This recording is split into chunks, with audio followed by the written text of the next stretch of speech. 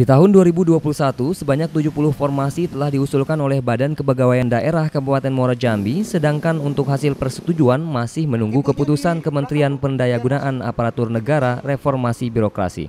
Dalam hal ini, Kasubit Pengangkatan Aparat Sipil Negara atau ASN Badan Kepegawaian Daerah Kabupaten Muara Jambi, Erma Aris mengatakan, untuk pegawai pemerintah dengan perjanjian kerja atau P3K untuk guru, terbanyak dan diusulkan sebanyak 1031 dibandingkan dengan pegawai negeri sipil umum.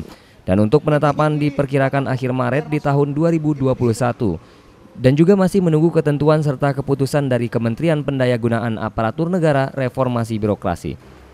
Muara Jambi mengusulkan uh, eh, P3K guru itu jumlah formasi 1031 terus CPNS 70 formasi itu baru usulan.